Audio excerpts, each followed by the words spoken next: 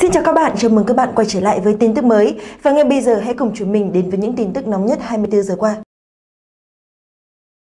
Có thể nói, đây là một năm thăng hoa trong sự nghiệp của đạo diễn Đỗ Thành Hải. Anh được bổ nhiệm làm Phó Tổng Giám đốc Đài truyền hình Việt Nam. Đây không chỉ là niềm vui riêng của ông trùm Táo Quân, còn là nguồn động viên tinh thần cho những ai ủng hộ vị đạo diễn tuổi sử này. Trước khi có được thành công như ngày hôm nay, đạo diễn Đỗ Thành Hải đã đạt được những thành tích rất tốt khi còn rất trẻ.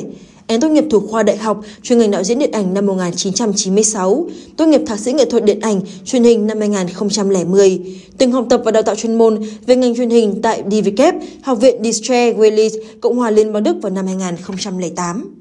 Anh là người có chuyên môn giỏi, được đào tạo bài bản trong nước và ngoài nước về lĩnh vực điện ảnh, truyền hình. Nhiều tác phẩm do anh đạo diễn gây dấu ấn với công chúng và được đồng nghiệp đánh giá cao về tài năng, kinh nghiệm quản lý.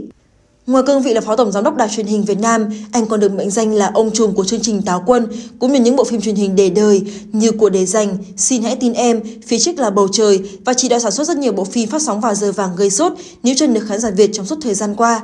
Suốt những năm tháng công hiến với nghệ thuật của mình, đạo diễn Đỗ Thành Hải đã giành được rất nhiều giải thưởng như giải đạo diễn xuất sắc nhất giải thưởng Hội điện ảnh Việt Nam năm 2006, giải cánh diều vàng phim truyện video xuất sắc nhất năm 2006, giải cánh diều bạc phim truyền hình giải tập xuất sắc nhất năm 2001, hai giải huy chương vàng liên hoan truyền hình năm 2000 và 2006. Quyền lực, nổi tiếng và thành công trong sự nghiệp, nhưng đạo diễn Đỗ Thành Hải lại rất kín tiếng trong đời tư. Trên trang cá nhân, đạo diễn Đỗ Thành Hải luôn tích cực chia sẻ thông tin về dự án phim, nhưng về gia đình, đạo diễn hoàn toàn không tiết lộ.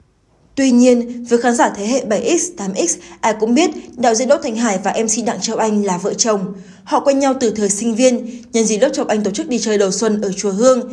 Đỗ Thành Hải là bạn học của nhạc sĩ Xuân Phương nên được đi ké. Sau đó, cả hai chính thức quen nhau và bắt đầu tìm hiểu. Họ kết hôn vào thời điểm đạo diễn Đỗ Thành Hải bắt đầu thực hiện những bộ phim truyền hình đình đám, Xin hãy tin em, của để dành, phía trước là bầu trời, vân vân. Còn nghệ sĩ ưu tú Châu Anh cũng đã nổi tiếng khi làm MC cho các chương trình của VTV. Về vợ đạo diễn Đỗ Thành Hải, nghệ sĩ ưu tú Đặng Châu Anh cũng rất cân xứng với chồng về cả tài lẫn sắc. Chị từng tốt nghiệp chuyên ngành chỉ huy, Học viện âm nhạc Việt Nam. Từ năm 1997 tới nay, chị là giảng viên khoa lý luận, sáng tác, chỉ huy, Hiện chị đang làm tổ trưởng tổ chỉ huy tại Học viện Âm nhạc Quốc gia. Nhắc đến chị, khán giả sẽ nghĩ ngay đến một nữ nhạc trưởng, một nhà giáo tài năng. Châu Anh còn được mệnh danh là người phụ nữ không tuổi. Dù đã ở tuổi sắp xỉ 50, chị vẫn vô cùng trẻ trung và xinh đẹp. Cùng làm việc trong lĩnh vực nghệ thuật nên Đặng Châu Anh và Đỗ Thành Hải có sự cảm thông với nhau. Cả hai hiểu được tính chất công việc của nhau. Đặc biệt, với nghệ sĩ ưu tú Đặng Châu Anh cũng là một người say mê với công việc. Vì thế nên gia đình của chị luôn phải thu xếp hợp lý để không đánh mất sự kết nối dành cho nhau. Ví dụ như khi chồng đạo diễn đi công tác dài ngày, chồng anh sẽ thu xếp thời gian để cùng con vào chơi với chồng vài hôm. Tối hôm nào được về sớm, cả gia đình dắt nhau đi dạo phố. Còn nếu con ngủ sớm thì hai vợ chồng sẽ trốn đi uống cà phê. Điều đặc biệt, hai vợ chồng Đỗ Thành Hải cũng có một giao kèo ngầm về việc không nhắc đến gia đình trên truyền thông. Họ muốn giữ một khoảng riêng tư nhất định cho tổ ấm của mình để không vướng phải những thị phi không đáng có. Hiếm hoi lắm, nghệ sĩ ưu tú Đặng Châu Anh mới tiết lộ về chồng nhưng chị hoàn toàn kiệm lời. Chia sẻ với báo chí, vợ đạo diễn nổi tiếng cho biết anh là một người chồng, người cha có trách nhiệm với gia đình. Dù chồng làm đạo diễn, nhưng nghệ sĩ Đặng Châu Anh cũng biết mình là ai, chuyên môn gì. Chị tâm sự, nếu chồng có mời đóng phim, chị cũng từ chối khéo léo vì không muốn ôm đồm quá nhiều vai trò.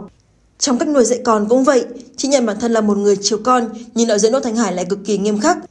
Tuy nhiên cuối cùng cả hai đều có một điểm chung là hướng con đến những điều tự nhiên.